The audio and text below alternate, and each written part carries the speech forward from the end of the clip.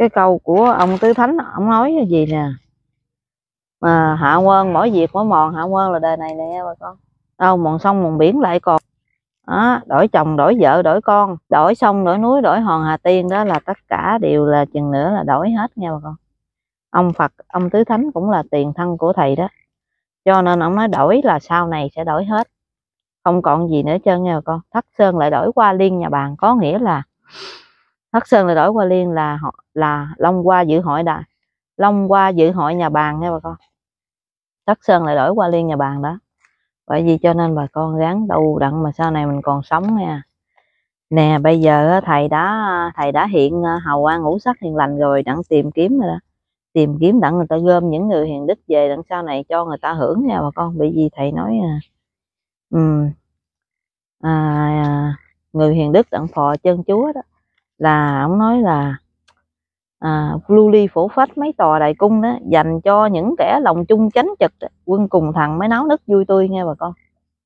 Bởi vì cho nên mình gán tu lần sau này mình được gặp thầy nè được dự hội long hoa nè được sống đời thượng quân thánh đức đó là những người đó là đại phước dữ dằn mới được sống nha bà con. Gán tu nha tu xong mà chị giỏi tại vì thầy nói mạnh nay thì nấy kéo lẹ dối đặng thì qua đèo trong gai. À, bởi vì mình gán cảm đấy. À, là gần lâm cây đá thấy ngày nay mà ruột u minh có các đài nghe bà con. À, ruột u minh có các đài. Là có lên đài phổ phách lần nè. Rồi ông nói là trên năm non gồng phụng tốt tươi miền bảy núi mà sao báo quý đó nha bà con. Gán. À, bởi vì ờ, ổng cái ổng xuống đây ổng dạy mình tu là đặng ổng rước mình về sống cái đời đó, nó rất là sung sướng lắm bà con. Tại vì thầy nói đặng hạnh phúc mới nhờ lòng cố gắng. Về cực lạc mới là, về cực lạc thảnh thơi an dưỡng, ấy là ngài ban thưởng công tu, bởi vì mình gán tu. Mình có, nếu mình có công rồi thì Phật cứu mình nghe con. Cái công tu hiền cũng lại niệm Phật của mình, cực khổ dữ lắm đó, bà con thấy gì chứ tại bà con ờ, tu bà con nghĩ là dễ quá nên nên không thấy cực khổ chứ. Thật sự tu mà bà con ngồi tham thiền nhập định thì khổ chết luôn cực á. Cực lòng nè, niệm không cho tâm tán loạn nè, phải niệm như thế nào nè, phải chú tâm vô đó và phải ngồi niệm. Niệm một khoảng thời gian cũng nửa tiếng hoặc là trên nửa tiếng rồi rất là mệt, rất là cực. Đó, bởi vì thầy đã nói rồi mà thầy nói gắng cực lòng một bước đầu tiên thì mới được làm nên Phật thánh. Ông nói, người không có chí hy sinh thì chẳng dễ gì thành Phật đâu. Nếu mình không hy sinh sao mình thành bà con? Nếu mình không xả thân cầu đạo sao mình thành Phật? Bởi vì thầy dạy là mình phải xả thân cầu đạo. Phải là có nghĩa là hết lòng lo tu tỉnh. Lo tu tỉnh dòm Phật tiên nói chí đó, bởi vì mình dòm các vị Phật tu như thế nào. Thì mình gắn tu theo người ta bà con. Đặng mình nói chí theo người ta tại vì thầy đã dạy rồi, noi theo chí thích ca ngày trước. Câu phú quý, ngài không màng ước, chữ bồ đề như cõi bá tòng gắn dưỡng nuôi chữ đó trong lòng, thì mới được định chừng diệu quả. Đó, bởi vì bà con gán nha. Tu á, cái chữ tu hiền này á, nghe bà con. Bởi vì ông phật nói nè, bà con biết không? Chín phương trời thì tới 10 phương phật thầy nói, cõi tây phương chư phật hằng hà. Ta gán bền lòng thì phật chẳng xa. Trong cõi trần mới còn mong đợi. Đó. bởi vì mình gán nghe bà con, Phật nhiều lắm. Khi mà mình tu, mình đắc đạo, mình lục thông, mình chứng đắc rồi thì tất cả củ quyền thất tổ của ông bà mình cũng sẽ được về trời luôn nghe bà con. Bởi vì rất là khỏe và chỉ có một người tu mà ông bà cha mẹ mình được lên thiên đường nha bà con. Bởi vì mình gán mình tu. Ẩn mà mình cầu siêu cho ông bà cha mẹ mình chết được, giảng sanh về trời. Tự nhiên mình gán. Niệm di đà gán niệm cho rành, đã thầy dạy rồi. Thì mới được sống coi tiên thánh. Đức là lục tổ chẳng ai dám sánh. Người dốt mà nói pháp quá rành. Lựa làm chi cao chữ học hành biết tỏ ngộ ấy là gặp đạo. Bởi vì mình giảng mấy người mà kiếp này có tu là do tiền căn mình mình có tiền căn tu với thầy đó nha bà con. Bởi vì mình mới là là gắn tu hiền. Mà con biết không? Tu á có người, người ta tu một đời người ta ta biết tới chừng ta chết, ta biết niệm phật, biết ngày chết, về trời. Có người tu một đời, lại không biết niệm phật, không có giải thoát. Bởi vì thầy mới nói nè, thầy dạy mình bên cái đoạn đó, thầy nói địa ngục cũng tại tâm mình làm quấy đó, nghe con? Về thiên đàng thì ta mấy tạo ra. Đó. nếu như mình tu mà mình chết, không biết ngày chết, không biết niệm phật là do cái tâm mình. Tâm mình tu không thật tâm, cho nên không ai độ hết chứ bà con biết không, ngày xưa ông ngoại của tôi đó, ông ngoại tôi tên là Nguyễn Văn Nhiêu đó bà con, ông ngoại tôi tên Nhiêu. Nguyễn Văn Nhiêu, ông đã tu, ông đã quy y, ông tu với thầy. Rồi sau khi đó ông cũng đã tu theo ờ, ông đạo nghèo nữa. Ngày xưa ông đạo nghèo lục xong tại thới, ở tại sớm nhà bà ngoại tôi nghèo con ông ngoại tôi cũng tu theo ông đó mà ông ngoại tôi khi chết sau cùng, ông tu tới ngày ông chết, ông niệm phật, ông về trời liên ông bà? Nghe bà con phút ông cuối cùng á ông cung cái tay lại nhau ông chấp vô với nhau, đặng ông niệm sáu chữ di đà. Ông gán gán gán niệm. Khi ông gán được dính sáu chữ di đà rồi ông là ở đâu có một mùi thơm bay tới rất là lạ thường nha con. Mùi thơm nó trên thế gian này không có được. Có nghĩa là, có nghĩa là Phật đã phóng hào quang xuống rước ông. Vì ông đã niệm Phật được, bà con thấy không? Ông ngoại tôi cũng tu vậy đó. Bởi vì còn bây giờ mình gán, nếu mình tu á thì thầy nói rồi, gán trì kinh kệ hoặc mau lâu. Cũng có ngày kia ta giải thoát. Giải thoát thì ta gõ đạo màu, bởi vì bà con gán. Gán trì kinh kệ là có nghĩa là sao? Bây giờ mình tu theo thầy thì mình đọc bài ngũ nguyện của thầy. Rồi bắt đầu mình niệm phật.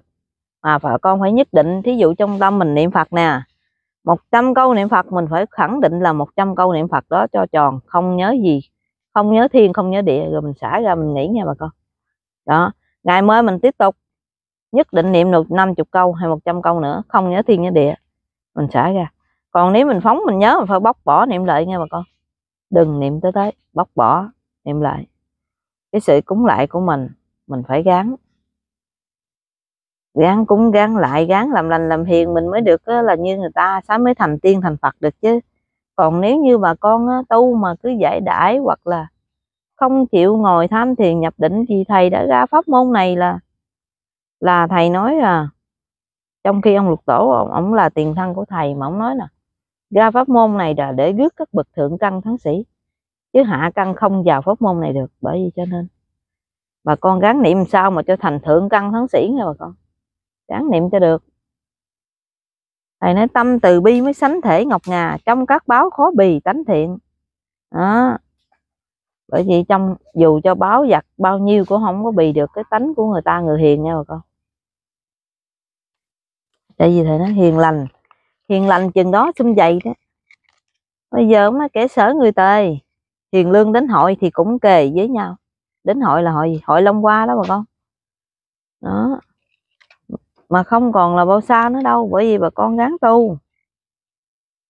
Tại vì thầy đã nói rồi, nhìn thiên cơ nhìn thiên cơ khó nổi yên ngồi. Thầy đứng ngồi không yên nữa rồi con. Tại vì cuộc biến chuyển thiên cơ này thời kỳ này gấp lắm, gấp rồi đó.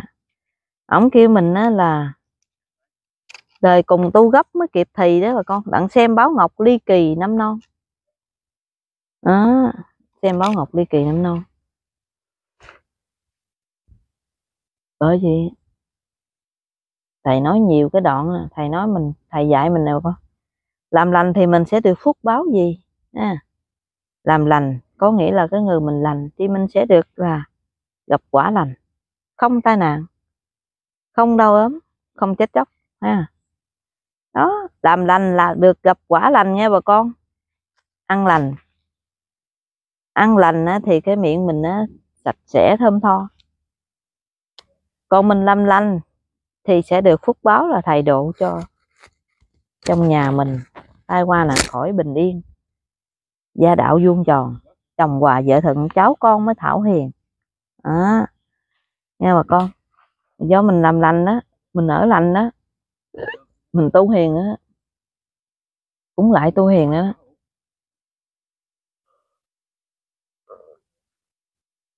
Ngày lập hội mới mong trở về nghe bà con. Bởi chị.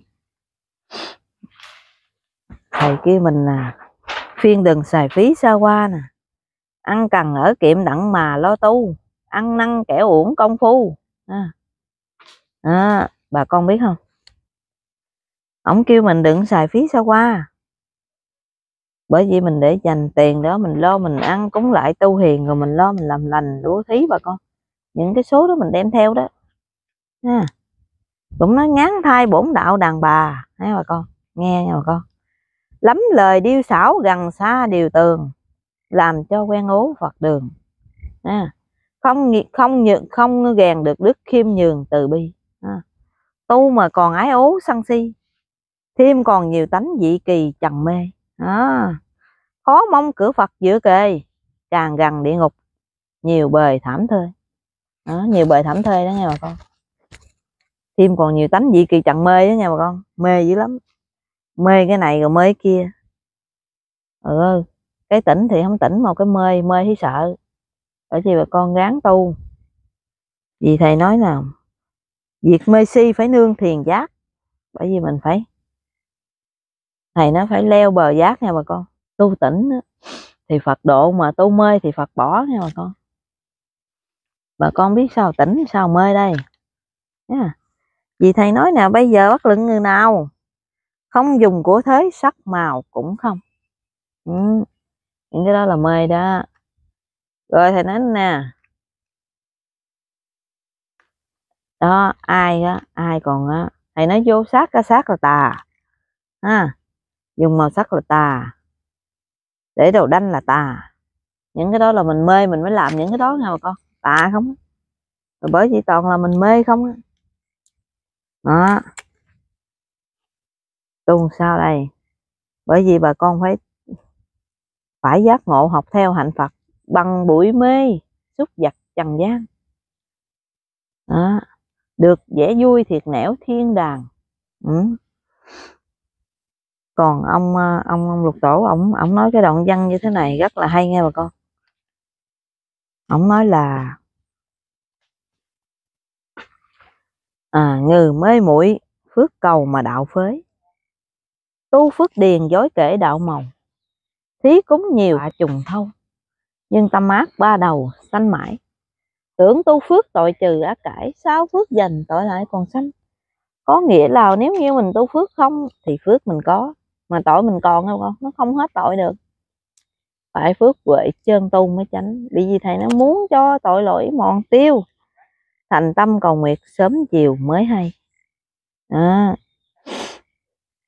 rồi thì thầy kêu mình đó là dầu cho gặp lắm hùm béo, à, từ bi dẫn niệm quyết leo khỏi rừng. Đó. Bởi vì mình gán nha con. Gán tu tu hành cho chính chắn nha chính chắn ngon lành làng hoàng, trong lúc cúng lại cũng đừng lấy có rồi bà con. Đừng làm bướng làm càng mà niệm cho lấy có là không được phước mà được mất tội nữa đó.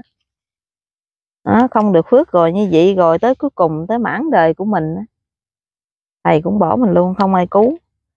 Rồi thí dụ như mình chưa mãn số mà hạ quan hết đời rồi thầy cũng bỏ mình luôn nha con, không ai cứu mình. Ông kêu mình là bà con biết không? Thân dậu. Tới năm thân dậu tay đầy sấm giang. À nhiều lắm nha bà con. À ông nói nè à, tương dưa giữ phận cho tròn cuối niên thân dậu mắt còn mới phân à, còn nói nè đế dương xuất thế là ngày là là ngày nào? Bà con biết không? Dậu thân bình trị trong ngoài âu ca. Đó bởi vì khi nữa ha, sau này đức vua mình ra đời đó nha con. Đức vua mình hiện giờ ông đã tu đắc quả thánh rồi. Khi ông ra đời trở lại, ông quay trở lại để ông mà lên ngôi vua thì phải người hiền mới phò được ông vua này, chứ người người hung là chết hết nha bà con. Người hiền mới còn sống mới phò vua. Mà khi vua mình trở lại là bà dân tiên nào phải con vua? Đó bà con. Nhờ tâm hiền đức cho chàng kế ngôi đó, bà con thấy không? Dân tiên đâu phải con vua mà ông hiền. Ông hiền quá hiền, đâm ra ông có đức rất nhiều. Nhờ tâm hiền đức cho chàng tới ngôi. Bởi sau này, khi mà trở lại là vua mình là ông văn tiên nha bà con. Ông lên làm vua mình hiện giờ ông tu đã đắc quả thánh rồi. Bởi vì mình gán mình tu đi, đặng mình được gặp ông quay trở lại. Đặng mình phò vua giúp nước nữa bà con. Nếu như mình tu ờ, thì mình là người trung thành với đạo mình người tu là người hiền là sau này phò chân chúa đó. Người hiền sao đặng phò chân chúa. Rồi à, ông nói mình đó là à, mở hội thánh chọn người trung lẫn hiếu đó bà con chọn người trung hiếu nữa bởi vì rồi thầy kêu mình đó là mở cái hội này là chọn nha chọn người trung lẫn hiếu hội long qua chọn kẻ tu mi người hiền đức mới phò chân chúa. Chọn nữa nghe bà con chọn người hiền đó. Làm sao cho hiền đây? Ví dụ như ngày mai người ta lại chửi mình bà con nhịn được không?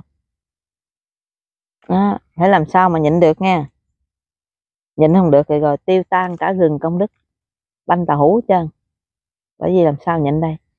Thí dụ như người ngoài đường chửi bà con nhịn được nha trong nhà chửi mình bà con nhịn được không? Ví dụ như cấp bậc giai em hay hoặc cháu mình nó chửi mình đó bà con nghĩ như thế nào? Để ống giai như mình là người tu hiền mà nó chả nó nạt có nộ thôi khỏi chửi. Bà con có có có có là nhịn được hay không? Bởi vì thầy kêu mình là gán nhẫn trăm phần giàu khó nhẫn. Khó nhẫn cũng phải nhẫn nữa nha bà con. Dạ thưa quan chức phận làm dân. Đó. Nữa là phải là là phải nhận lỗi đó nghe bà con giàu á, bởi vì ông nói mình á, mình tu là mình phải chịu cái đắng, chịu thử thách, chịu gian nan, chịu cực khổ, sau này mình mới được thành chánh quả bà con. Còn mình tu mà mình từ chối chơi mình khước tự chứ mình không có chịu gì hết thì sao mà thành? Không thành được, bởi vì bà con gắng làm sao mà tập tập cho mình là hiền lương nhân ái, tham sân si cũng phải tảo trừ thì thầy nói cội sân si cũng phải tảo trừ, đem về giác tánh chân như. Kim thân tỳ thị hiện mới dứt trừ tử sanh. Đó. Bởi vì mình phải tảo trừ nó này bà con. Ráng lên. Nói thiệt với bà con, trên đời này không ai mà, không ai mà một sớm một chiều mà làm được như lời thầy dạy, bởi vì mình dám tại vì cái giờ phút này là giờ chót rồi nghe con. Ông nói đò chiều chiến chót rồi phút chót này là còn rước được ai thì ông rước đó. bởi vì mình gán lên đặng mình được đi đò ông tư nghe bà con. Đó bởi vì có câu giảng như này? Thiền cậu không đáy không diền trước đưa bổn đạo thì ngư hiền được đi. Đó. Cho nên mình mình tu làm sao mà mình được đi trên thiền của ông tư là mình quý báu lắm nha con. Con thấy thời đại bây giờ khổ lắm đó. Ừ, ừ. và con thấy ông khoa học kêu bảo rồi đó thì dĩ nhiên có phải y gan không? Khoa học lên đài là sẽ kêu là sẽ có một là tới 33 trận bão sắp tới đây nha bà con. Đó. Khoa học người ta lên đài ta kêu cho mình biết rồi đó, đặng mình. Bà con biết không? Thì y gan như trong trong giảng cung tứ thánh nói rồi. Sao, để sao bảo tố thình lình đó bà con? Sập nhà sập cửa rồi mình ở đâu? Bây giờ nước ngoài nó cũng khổ lắm bà con ơi. Nước mình thì cũng khổ nha con. Ảnh hưởng vì sự thời tiết thiên tai của trời đất nha con? Nắng quá nắng rồi. giờ bằng cái gì cũng không có bằng nào không phải như ngày xưa nha bà con. Ngày xưa mới mưa thuận gió hòa. Còn bây giờ là nắng nôi là là khác xưa rồi đó nghe bà con. Sau này mình tu á những người mà tu mà còn sống sau này á, là trên đầu người ta lúc nào cũng có hào quang tại vì ta có chữ thần độ người ta đó bà con ừ. hùm beo tay tượng bụng bề, lại thêm mắt thú mãn xà gích to ừ. rồi ông nói, trừ khi có máu thấm vào, nó dùng dãy lớn lao bay khắp mẹ đấy, con mỗi lần nó gấp ngàn muôn người cũng được, như không nghe bà con đó, tới con chim cát nó ra lại quất mình đó nè con gấp gấp như gà mổ gạo nghe bà con, bởi vì mình gán tu gán tu nghe bà con. Tu làm sao đó mà. Bởi chị ông ấy à, người tu á. Thì sau này khỏe chứ, còn người không tu thì sau này chừng khổ của nha bà con. Đó là, lao sao lửa cháy non tầng nữa nha bà con. Là là là lửa cháy dữ dằn lắm bởi vì bà con gán nha. Gán tu gán niệm phật đằng sau này mình sống mình coi đời. À, coi tiên coi thánh. Coi tiên phật hạ phàm gian nha bà con. À, ngon. Để bây giờ mà không tu không hiền lương không hiền lương nhân ái thì sau này ôi thôi, khổ vô cùng. Bởi vì làm sao cứu được những người không ác? Khổ lắm bà con ơi gắng tu. Sau này ha là chiến tranh giành giật, sớm làng còn chi nha bà con. Khổ dữ lắm. Lớp cái này, lớp cái kia, lớp cái nọ. Nếu mình không niệm phật là mình không có vững tâm thần được nha bà con tâm thần mình nữa là sao đảo? Bởi vì người ừ. người tu đã thầy nói rồi, người tu thì có phật lo nghe bà con. Bởi vì mình gắng mình tu đi, sau này hiện tại bây giờ cũng có phật độ mình và sau này phật cũng độ mình nữa nha bà con. Phật độ hết. Đó. Tu. Tu hành mà tu giả dối bà con ơi khổ dữ dằn thầy nói. Tu thật tâm thì được thảnh thơi, tu giả dối thì lao lý. Và con tu dối thì gì chứ khổ, sau này cũng khổ mà hiện tại cũng khổ. Không có thật tâm rồi ông Phật, ông không có còn độ mình nữa rồi con. Ừ. thầy nói coi rồi phải thân mình tự trị chấn độ sống thì Phật khó dắt diều thả thiền từ bến giác nâng niu kẻ hiểu đạo mau mau bước xuống. Ừ. để cho mình gán nha bà con. Tu sao mà cho hiện cái trước mắt, bởi vì nó bà con ha, cái tánh nóng của mỗi con người chúng ta ai ai cũng có. Tuy nhiên là nó ăn sâu vào máu đó bà con, không biết làm sao mà để cho mình hiền trở lại được như cái bản tánh ngày xưa của mình nha bà con. Bởi vì thầy nói nè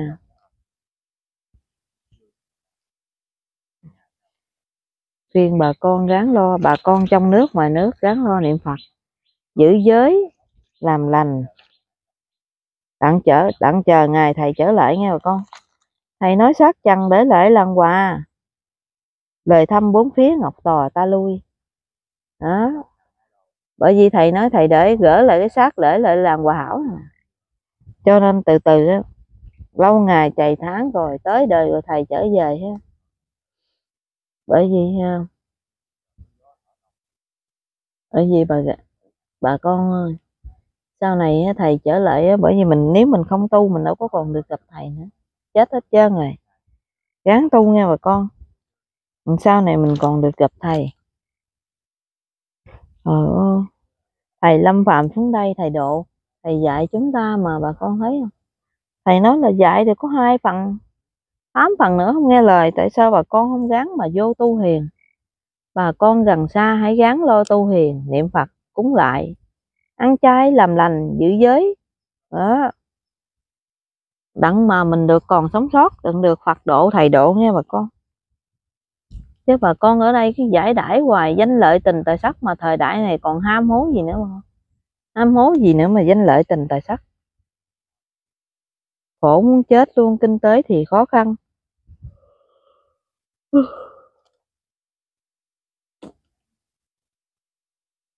Tôi chỉ có là phiên bà con là bao nhiêu thôi, trong nước và ngoài nước.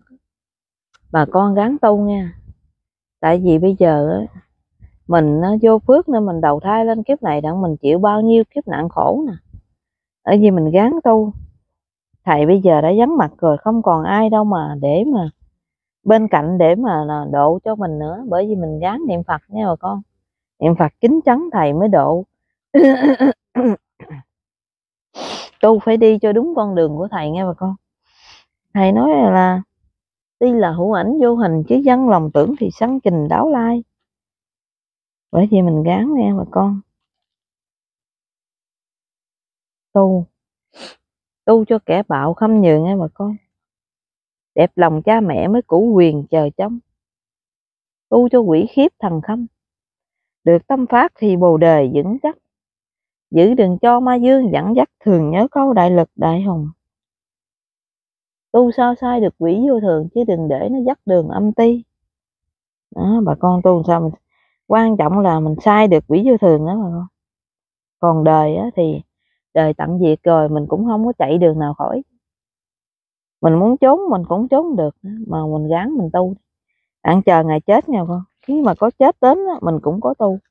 Cũng là người biết niệm phật. Mai ra ông phật còn cứu độ linh hồn mình nghe bà con. Còn bà con ở đây giải đãi lo giàu, lo nghèo hoài, lo hoài, lo cũng không rành. Thầy nói ham công danh quên chữ sanh thành. Mến phú quý thì quên câu dưỡng dục. Gán kiếm chỗ tầm tiên lánh tục ngư ở đời, phải được lòng trong. Hồng trần sớm gọi, ngài lập hội mới mong trở lại nghe bà con. Đó. Bởi vì bà con làm sao đây? Làm sao mà tu hiền, chân chánh? Tu chân chánh chứ không mà, còn tu mà không chân chánh thì chỉ có nước là từ chết thôi nha bà con không có còn sống sao là thay nằm chặt đất ngổn ngang nữa. À. sau này nước không có mũ mà con biết. Tại vì để đến việc sơn băng thủy kiệt khùng thảm thương bá tánh quá chừng. Trời ơi nước không có uống nè ông ba nói nè. À, thương ba năm không chợ nhóm chịu. Nhà không người ở niệm nhiều nam mô thay không lấp mà để phơi khô chết hết rồi ai đâu cho ông bà con. Nước không có muốn nam mô đạo nào tới chừng đó đi rồi bà con thấy cảnh à. Bây giờ bình thường mà không có tu ỷ y không à. ỷ y sống hoài nó không cần tu hung dữ hoài. Tới chừng đó đi rồi đầu kêu ai cứu? Hay không lấp để phơi khô chết hết trơn mẹ nó rồi còn ai còn sống ở lại đâu mà chôn? Đó, thay phơi thành núi máu chảy thành sông luôn. Tới chừng đó người còn sống ở lại cũng sợ ma cũng chết theo luôn nha bà con bởi vì gán niệm phật. Gán niệm phật là mình đâu sợ được. Tại lúc nào mình cũng có phật trong người chứ. Rồi gần tới mà bởi vì trong khi đó, gần tới nó thiệt chứ bà con sau này ha, cái việc gì đó, cái người tu mà được Phật độ, người ta sẽ cho biết chứ. Biết thì đặng người ta che chở cho người đó, đặng người ta né, người ta tránh. Đó. Bây giờ lo mần ăn lo ngao du quảng thủy. Lo chơi bời, lo danh, lo lợi. Tới chừng đụng việc rồi, ông Phật ông bỏ mình luôn. Nè, cảnh hồng trần nữa nè. Cảnh hồng trần tợ biển mênh mông nữa nè. Là còn tới chừng đó là nước không nha bà con. Dòm lưng trời lửa cháy liên biên đó. Tiêu điều sản giặc điền viên thần không biến quá dưới miền trung ương đó tới chừng tới rồi nha bà con ô, ông năm chèo ông nổi lên. Miên nó gượt xuống ông cát ông dậy lên nữa nha bà con. Gắn ở trên gừng xuống cọp xuống nữa nha bà con. Tới chừng nó chết hết. Đó mới. Là hổ lan thú muôn bày lớp bay lớp chạy đang dạy dò người hung. Trời ơi tới chừng đó người hung. Ông nội ơi nó, nó bị nó dài dò khóc muốn chết không ai cứu nha bà con. Phải gán làm hiền gán tu hiền nha bà con chỉ có sáu chữ di đà thầy mới cứu mình thôi. Mà bây giờ mình làm biến nè. Mình không cúng lại mình không làm lành mình không tu hiền thì tới đó phật cũng bỏ luôn. Tại vì nó phật tây phương đâu chứng cho người làm biến. Đó, việc tu tỉnh ít người hiểu lý. Đó. Không ai hiểu rồi đi tầm bậy đi chặt lộn đường. Đi chặt con đường của thầy dạy trơn sao còn?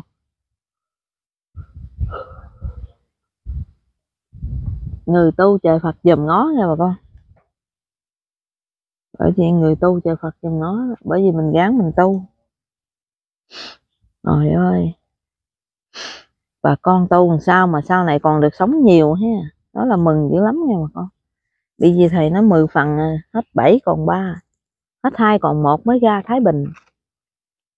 Có nghĩa là còn có một phần mới ra Thái Bình đó rồi con ơi. Không được hai phần nữa. Mà con chuẩn bị coi nha, bởi vì đời sống khổ. Là con gắng nha, vừa lo làm ăn, vừa lo tu hiền chân chắc rồi phải là phước huệ sống tu nha bà con. Ăn lành, ở lành, làm lành lắm dữ nha, giữ giới của thầy nữa nghe bà con. Gán cúng lại. Cúng sao mà cho tâm mình nó được chánh niệm, nó đừng tà niệm nghe bà con. Tà niệm cũng chết luôn nó thiệt với bà con. Tu mà không biết cũng chết luôn.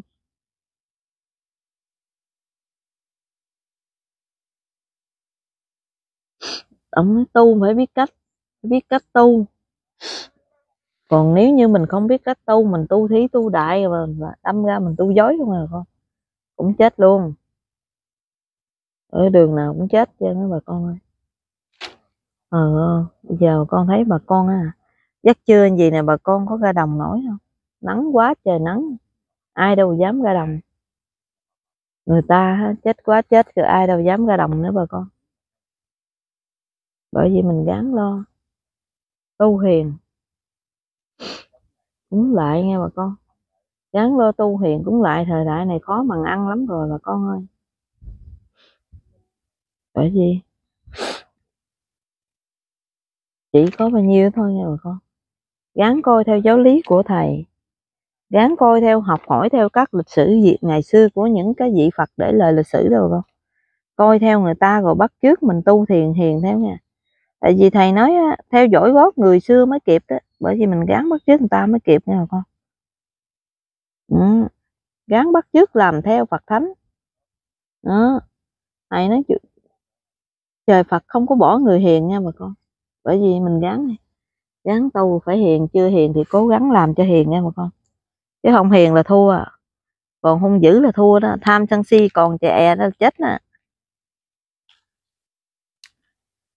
Phải gì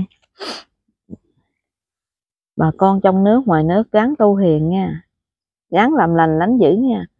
Xin, xin coi được cái clip của tôi xin bà con gắng gắng tu nha. Gắng cúng lại niệm phật cho nhiều nha bà con niệm phật nhiều thì tốt chứ không có sao hết trơn nha. Nghe bà con, tốt cho bản thân mình và cho biết bao nhiêu mọi người nữa đó nghe bà con. Bà con muốn à, muốn còn sống, muốn được gặp thầy thì mình gán lên.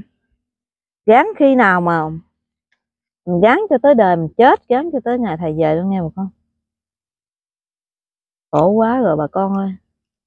Kinh tế mặn ăn khó khăn thời đại này nắng nôi làm không nổi, trồng cây lá gì nữa cũng không có, chúng nó không đạt hết trơn nha bà con. Khổ dữ lắm, bởi vì mình gắn mình tu nha bà con. Nam mô a di đà phật. Nam mô a di đà phật. Bà con mới tánh gắn tu nha, nam mô a di đà phật. Chúc cho bà con có tánh nhiều sức khỏe.